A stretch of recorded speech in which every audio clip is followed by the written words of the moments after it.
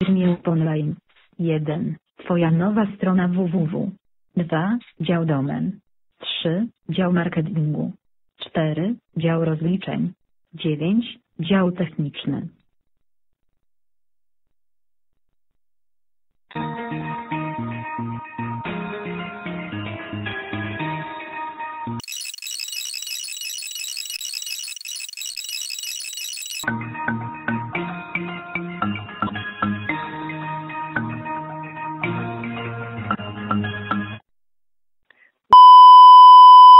Dzień dobry, w czym mogę pomóc?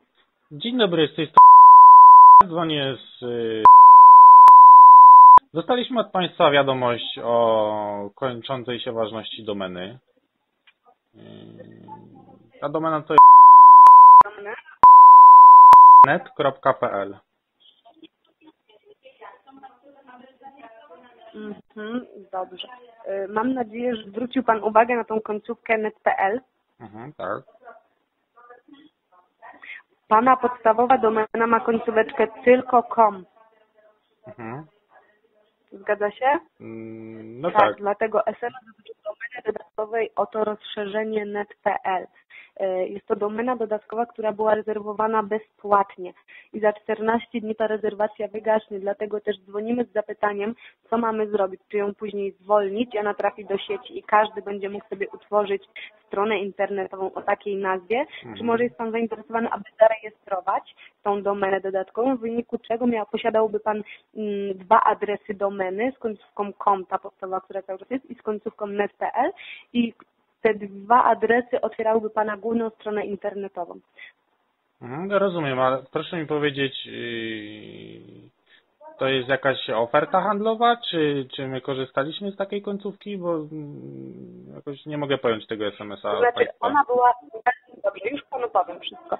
E, Ta z końcówką net.pl, ona była rezerwowana.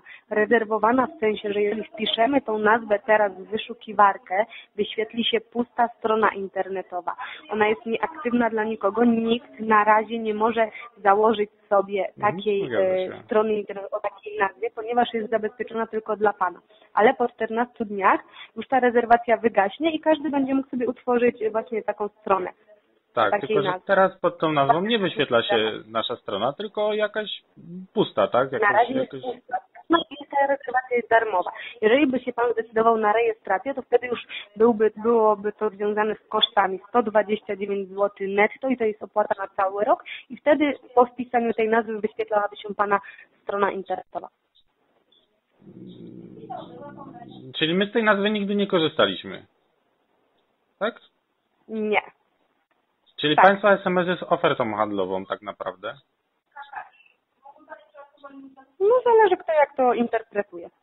No, zależy jak to interpre- inter- interpretuje, bo z treści SMS-a wynika, tak jakby wygasał nam jakiś abonament, który już posiadamy. Więc, więc Znaczy, strasznie dziwnie e, brzmi ten SMS. To znaczy wygasa rezerwacja bezpłatna. No, bezpłatna rezerwacja, ale to wie Pani, to jest... Nie jest. Tak wystarczy panu to com.pl.